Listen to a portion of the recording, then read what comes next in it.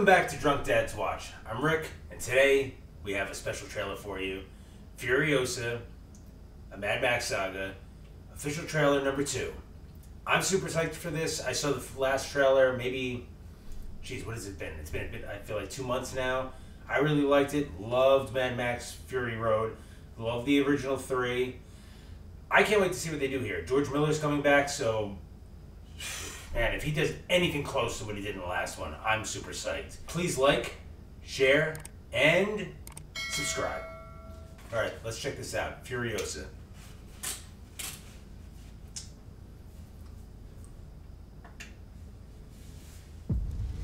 Furiosa! We've come too far. Oh, that was cool. I like the color like that. I'm psyched. This, this looks good. Yep. George Miller, he's back. I, I'm I'm down. As a child, my world was forever changed. I love Anya Taylor-Joy. My mother was magnificent, Whoa. and he took it all from me. That's my boy Hemsworth. Who do we have here?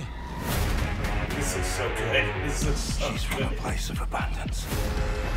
This is our destiny. My childhood, my mother. I want them back. Oh, I want them back. Oh yes, she looks so good. She looks so good. Whatever you have to do. However long it takes. oh, Promise in you'll find on your the way big screen. home. Gotta do it. Protect the green place. It's time to take what's rightfully ours. Ready, steady, go! yes. Oh, Where are you going? So full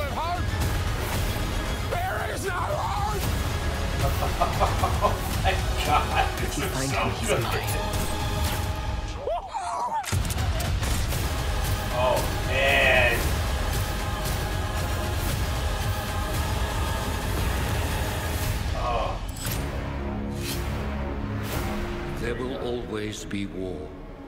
But to get home, Furiosa fought the world.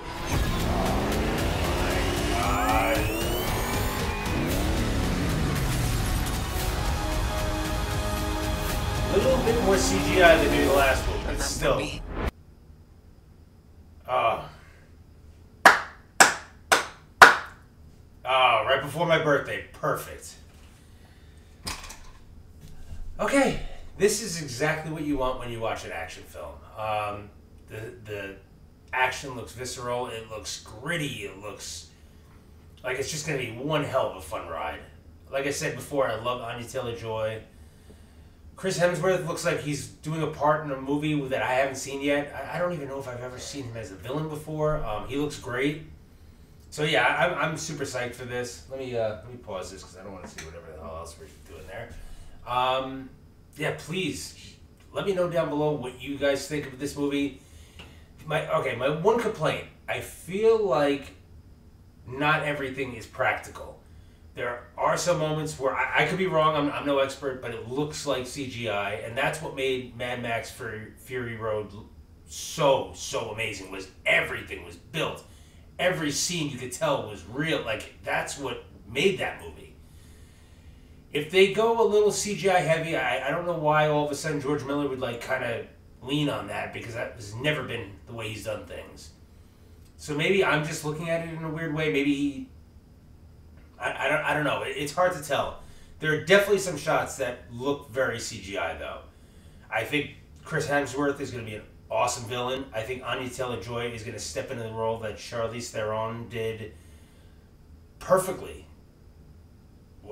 Five six years ago? I, I think she's going to be great in this. People are probably going to. I mean, this is going to be her own movie, so she's going to have a good chance to maybe kind of like rise above uh, Charlize Theron in, in that role. And um, I wouldn't be surprised if this does really well, where maybe we get George Miller to make another one of these movies. I feel like Tom Hardy was the weakest part of the last movie. I mean, the effects, the the the action. I mean, that whole movie was just like a street race. That it was, it was fantastic. He just wasn't the strong point in that movie. So, if we get Mad Max out of this one film, which might piss people off, and focus on Furiosa and her band of misfits or whatever we're gonna get with that, I, I think this could be a really, really, really good movie.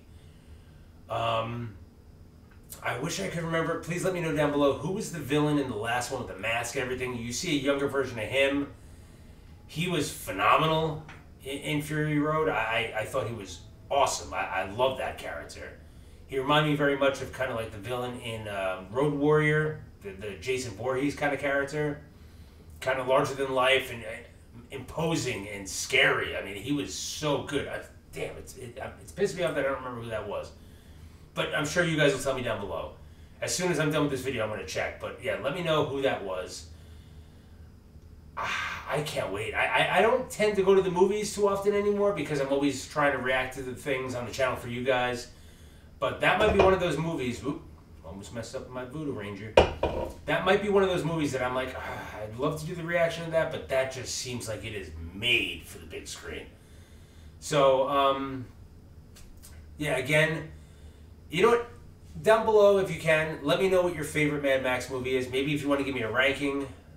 After this movie comes out, I'll give you my ranking of what those movies are.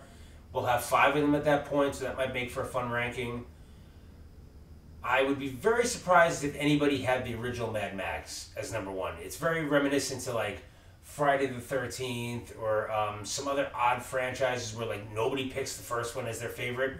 Most people go with Road Warrior, even Fury Road, which I can't argue that because that movie, up until Road Warrior, uh, up until Fury Road, Road Warrior is my favorite movie. But now I'd have to go back and watch that. But that might be number one. And I love Mel Gibson as Mad Max. I love him in that movie, um, Road Warrior. But something about that entire movie just being like a road chase film with like just stupendous, stupendous practical stunts and, and it, the cinematography was amazing. Like George Miller, it was kind of worth the wait. You know, we waited so long after Beyond Thunderdome for his next iteration of that, that franchise, and I think it was well worth it. I mean, that movie was whenever that movie came out, that was the best action film I think of the year. I I think that might have come out. I want to say that came out maybe the same year, or it was around the year that Deadpool came out.